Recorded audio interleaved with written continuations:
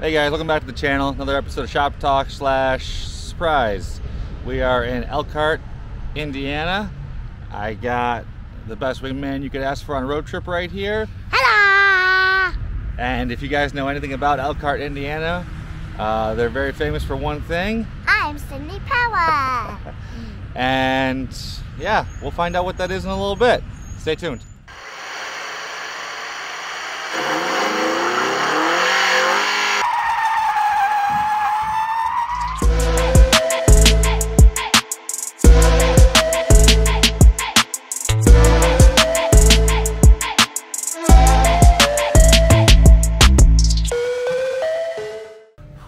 We made it. It was a uh, seven hour drive from Buffalo, but we are here and this is more than a year in progress to pick this up. So obviously, I'm sure you've got a little bit of an impression of what it is. not gonna reveal all the details.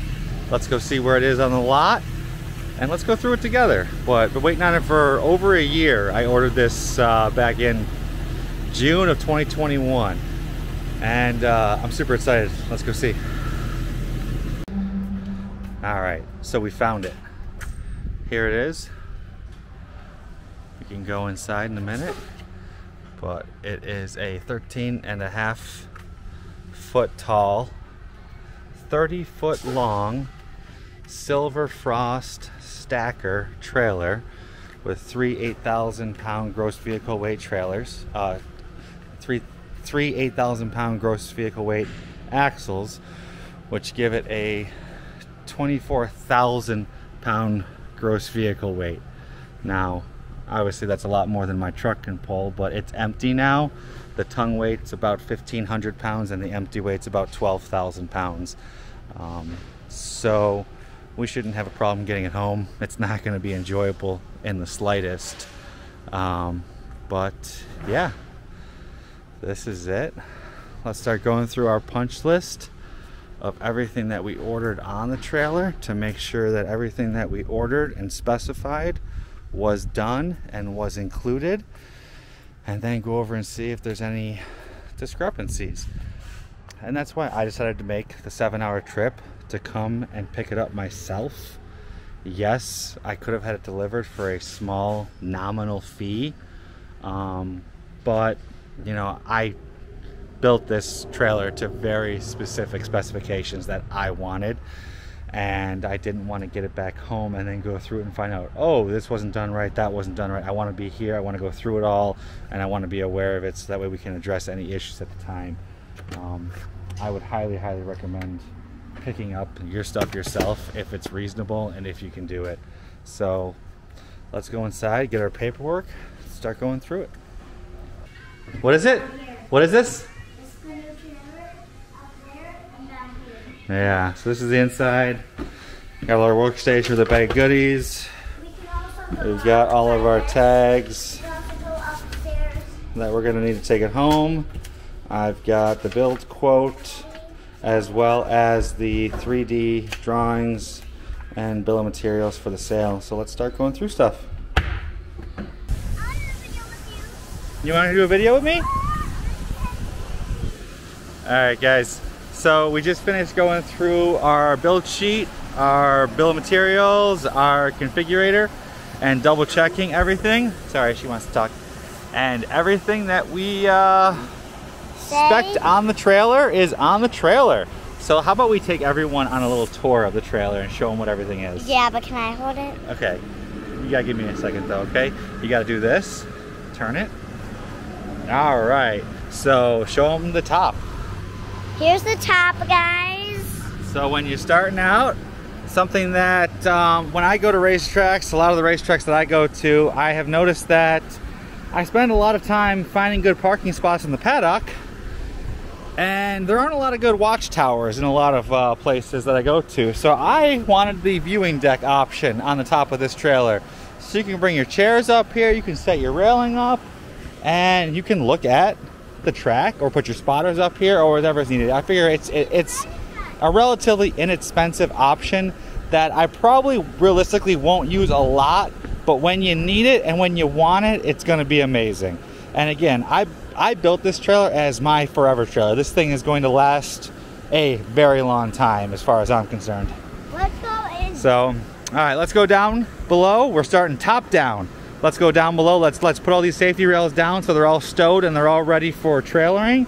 And then let's go down the roof hatch and show you what the inside looks like. So there's the escape hatch that we just came off the roof with the ladder. Ladder takes you all the way to the ground. And up here we've got an intermediary stop at our 10 foot long attic where we have got an onboard air compressor, spare tired, and opted for airline track everywhere in this trailer for a lot of spare parts, totes, tools, tires. I don't want to ever have to tie something down and not be able to do it. So we got a lot of track. Three on the floor, all the way around the perimeter, cove lighting up here. Um, additionally, we did, we went with the black cove lighting with the silver frost interior and exterior, and I think it looks amazing. Additionally, I downgraded the floor to the coin aluminum. And we did this on both the attic and the floor down below. As I've got this in my current trailer it's easy to clean. It's easy to uh, work on. It doesn't hurt your knees if you bend down on it like the extruded aluminum floors will do. Um, so I just like this option better and it's cheaper. Uh, I just you know I get a vacuum I get a Swiffer you go through it once a month and it looks great it looks brand new um, the only thing that you do have to watch out is you will get like hot, hot tire marks if you park hot tires on it. But primarily most of the stuff that we're going to be tying down will be loaded onto the lift itself that comes directly off the track. Um, otherwise, it holds up really good. So here's the full trailer from above. Let's go down below and see what other goodies we ordered. All right, so now we are back on the first floor, right? Yeah. So let's go in through here. Just got a standard uh, I believe it's 10 foot ramp with extension. Over here we've got our extension ramps for the lift to get a car onto that. That goes all the way up to the ceiling. We're good. It does go all the way to the ceiling. There's a little picture on this way. Over here we've got the uh, tie down strap holders and then I had some specialty E-track installed on the ceiling up there because I'm going to mount two bars going across and that's where I'm going to put a lot of spare tires or uh, rain tires or whatever. Again, same thing, airline track all over the walls. I also went with all the carpeted protection, airline tracks all over the floor, airline track everywhere is how I wanted this thing set up. Down here we've got an airline quick release. These things are throughout. There's going to be one up front. There's also to be one on the outside, just quick release for uh, for the air tank. I'm going to carry uh, just like a small 20 foot extension airline so I can plug it anywhere in the trailer and it'll really help me out. Um, more outlets back here. Some switches. You got your ceiling lights, your lights under the lift, your exterior loading lights up there I'm not sure if that is a good representational picture of them turning on or off. Um, additionally, I have All of this stuff in the camper. a backup camera mounted up there that will plug into anything that pulls it. All right, so back down here, we got a 14 foot lift with our 6,000 pound D-rings. Um, we've also got 6,000 pound D-rings throughout. There's eight of them on the main deck, four of them on the lift.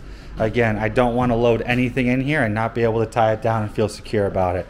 Then we went with a eight foot or nine foot escape hatch with a light on it as well. Uh, in case you're loading up or unloading at night. You got your two latches on the side, you got your strut assists, and then the fender liner comes off. There is a, uh, a silo on the other side of this on the outside. I'll show you so we can't open it. And then on this side, we just did a fuel jug holder all the way across. Um, if we have to carry any of our own fuel, as well as something special underneath for uh, for fuel later. So up here, we've just got our boxes. This is our batteries. This is going to be your winch with remote, 5,000 pounds. This right here is going to be your hydraulics for the lift, which operates on 12 volt. I was very pleasantly surprised that the lift, the winch, everything pretty much in this trailer can be run on 12 volts with the two batteries. The only thing that cannot be run on 12 volts is again another quick connect up here for the air compressor And we've got a 1.5 ton uh, dual inverter air conditioner that we put into this as well. Um, so just a little bit up here on the front. Let's take a step back. I decided to go with a little bit more cabinets than what we originally planned. Originally, I was just going to do that front wall with cabinets, but then we realized afterwards I added the AC unit that it took away a lot of our top cabinets, so I wanted to add an L.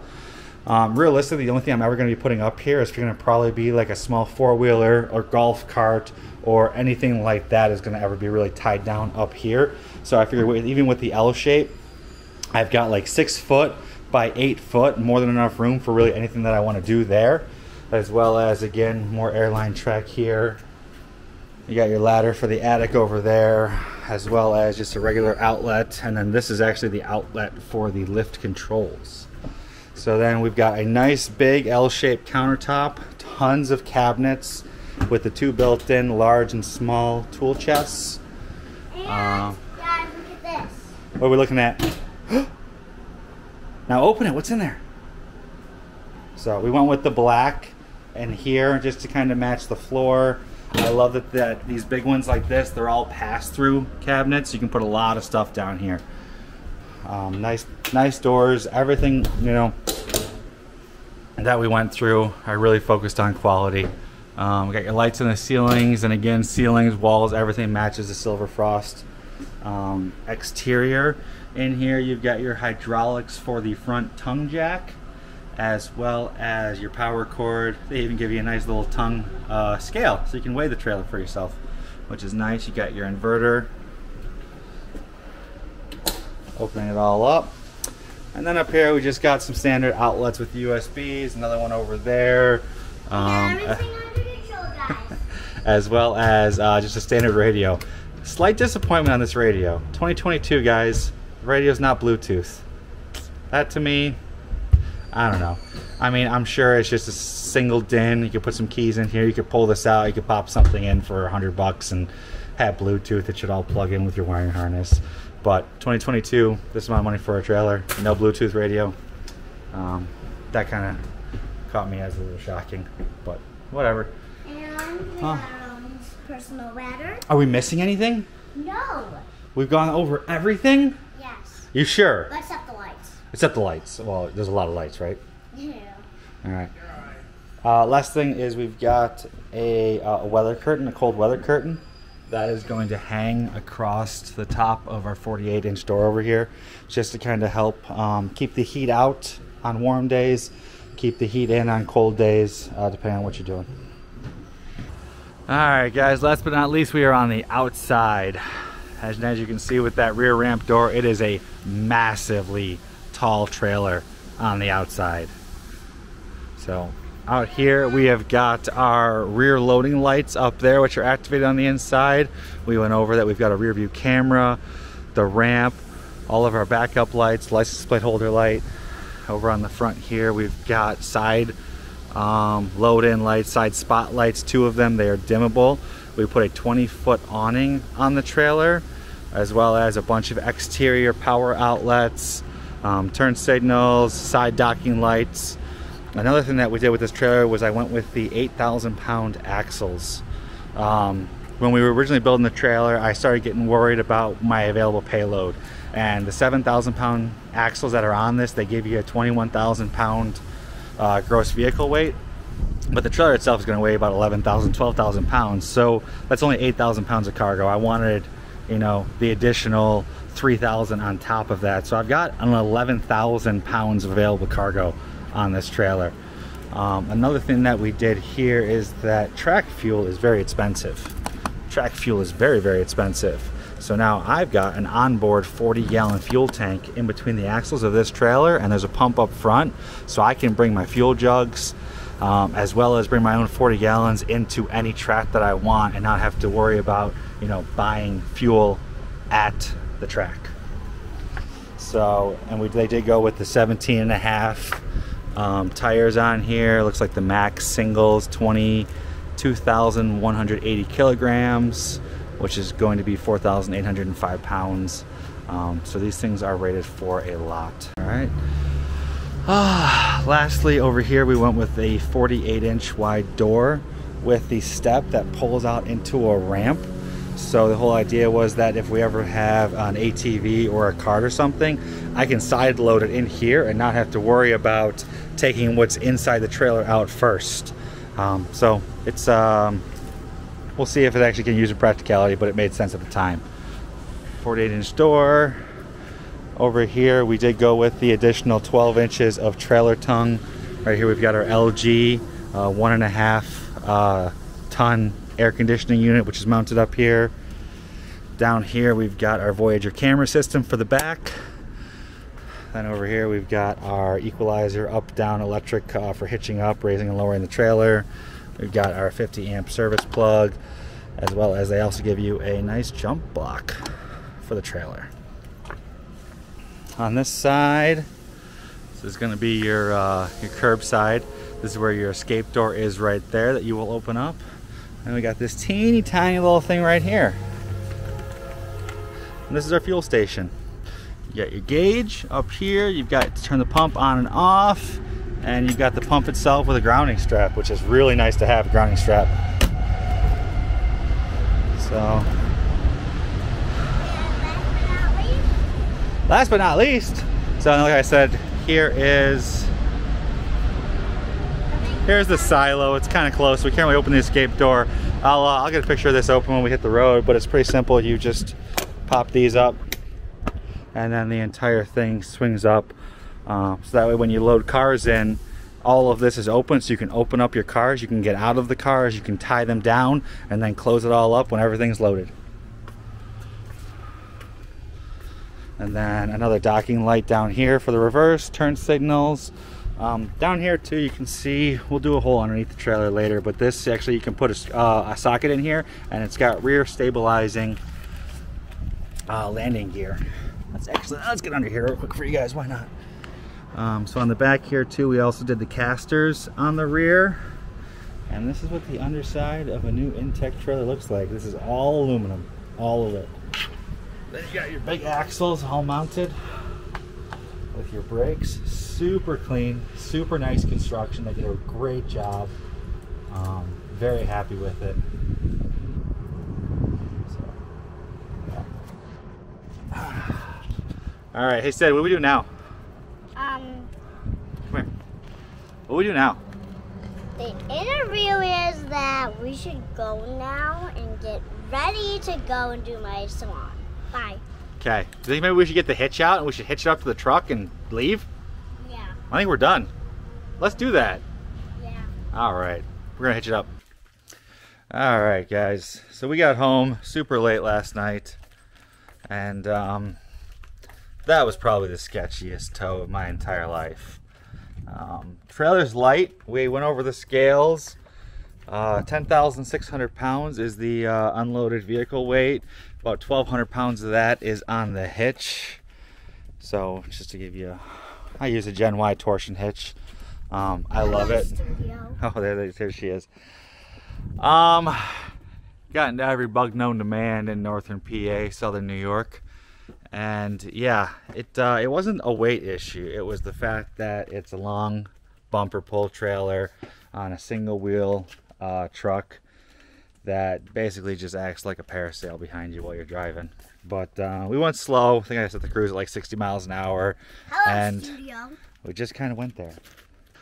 Um, so yeah, we got it home. It's time to do some uh, some driveway organization, get them pulled in behind one another, because this trailer that we uh, the stacker that we just picked up, there's a little bit of work that we have to do to it to get it ready for the year. We're probably not going to really use it until next year, um, for a couple of reasons. One of those is actually going to be because that truck is not supposed to be pulling this. I only went and got it with this. I knew that I was going to go slow because I needed to get it home. I didn't want to pay a transport company because, again, I wanted to pick it up. I wanted to make sure everything worked um, while we were going over there. So it's just going to sit in the driveway probably for the next mm, six to seven months until next year. Um, what's going to actually be towing it is supposed to come in around December of this year. So that video will be coming as well as the toy hauler will be up for sale um, in a couple of months as well. And there's going to be um, on the channel there's a video of this toy hauler, how I've been using it for the last three years, and how I've been loading the car into it and just kind of situating all my stuff. So that's going to be on the channel in a week or two when I get around to editing all the videos. Actually, by the time you see this, it's already going to be on the channel just because of sequence of events. So thanks for hanging out with us. Any questions on the trailer, why I optioned what I optioned with it, why I decided to go with this, um, anything at all that you guys want to see, please let me know and I'll put it on the channel. So thanks for sticking with me. You guys have a great day.